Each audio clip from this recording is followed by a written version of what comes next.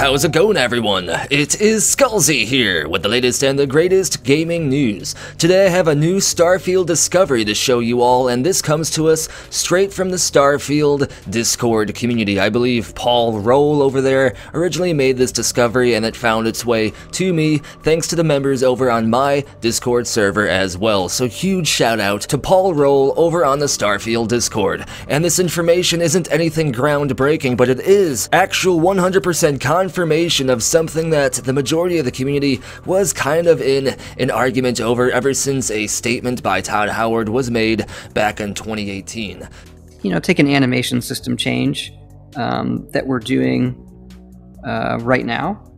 We're finishing for one of our projects though that's a project that's in pre-production getting a new animation system whereas the one that's in full production is using the old one. Todd howard did an interview and stated that their next project was going to use a complete new animation system and a lot of people weren't sure if todd howard meant starfield or if he meant the elder scroll 6 because he certainly didn't mean fallout 76 but now we know that he certainly meant starfield and this is even more evidence of just how big this huge engine overhaul of the creation engine was that todd howard Was talking about recently. Now, the source of this discovery comes to us from Eric Braun's LinkedIn page. Eric is a senior programmer at Bethesda Game Studios, and he has been ever since January of 2014, so he is a long Bethesda Game Studios veteran, and his specialties are actually low-level animation, facial animation, general character movement and controls, focused animation systems, and just pretty much animation, movement, and stuff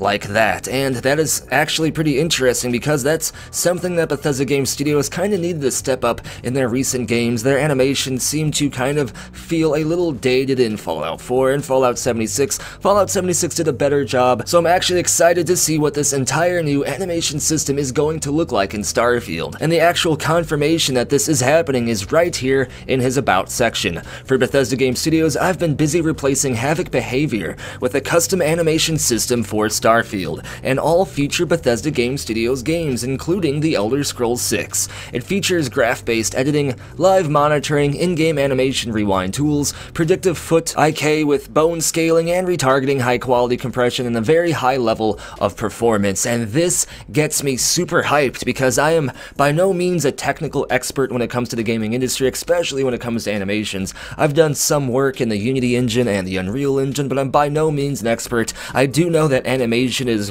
one of the tougher things to do very very well in the gaming industry, so Eric Braun must be a super talented person, and I am very hyped to see what this entire new Starfield animation engine will look like, because I believe this might be like the first time Bethesda Game Studios has ever seemingly built an entire animation system from the ground up. It says in here that they've used Havok behavior, custom animations in previous Bethesda games, only now this new thing is going to be completely rebuilt. And like I talked about in previous previous videos, there are still people arguing that Bethesda Game Studios is still going to use the same engine, even though Todd Howard said they're doing like a huge rebuild. And in terms of the gaming industry, that technically means a new engine, because you will almost never see a gaming company just completely scrap an engine unless it has some major, major issues that they couldn't improve upon, because almost all game engines can be improved upon, and even the newest version of Unreal is still using original code from the very first version of the Unreal Engine. That is just how stuff works.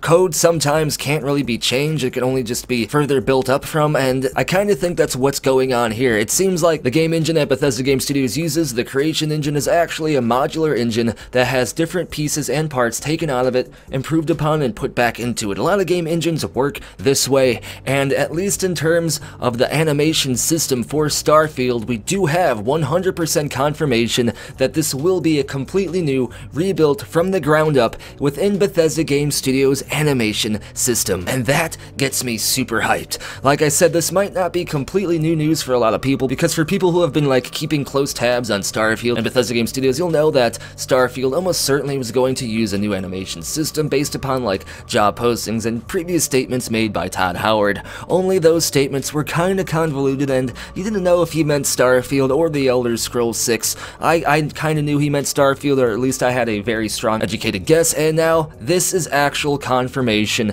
from this LinkedIn profile. I mean, Eric Braun isn't going to put completely made up stuff on his About section on LinkedIn. LinkedIn tends to be a pretty professional site, and judging by his actual LinkedIn profile, he has multiple different endorsements from multiple different people in the gaming industry, so I'm gonna take his word for it, and I'm gonna just go ahead and say this basically confirms Starfield will be using some awesome new animations. While I guess I can't say if they're going to be awesome, I can say that I believe this definitely is the first time Bethesda Game Studios has done this, so if their animations were ever going to have a major improvement, this would definitely be the time. I hope to see the third-person animations for the main player character to be vastly improved as those have been kind of wanting for a long time, and I hope that these animations and this like foot detection system and just physics in general for Bethesda Game Studios games can finally enter the new generation of gaming. I mean, Red Dead Redemption 2, even though it's called a clunky game, in my opinion, it did do animations and a realistic physics system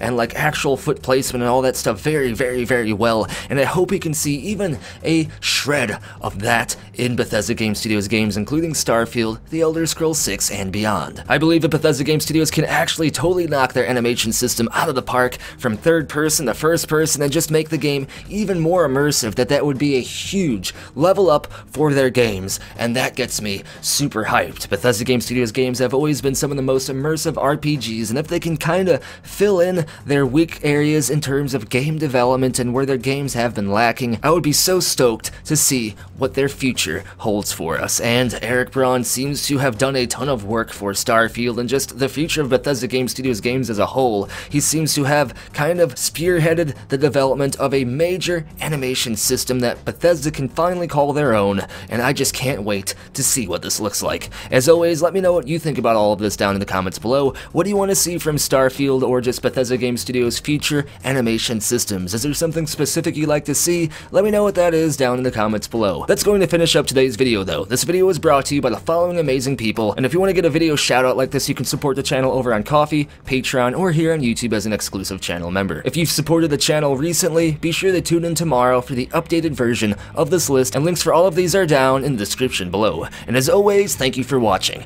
Be sure to tune in next time, when I better get some damn blueberry cereal. I haven't had any of this stuff for like the last few years. It's my favorite cereal. It's blueberry. It's good.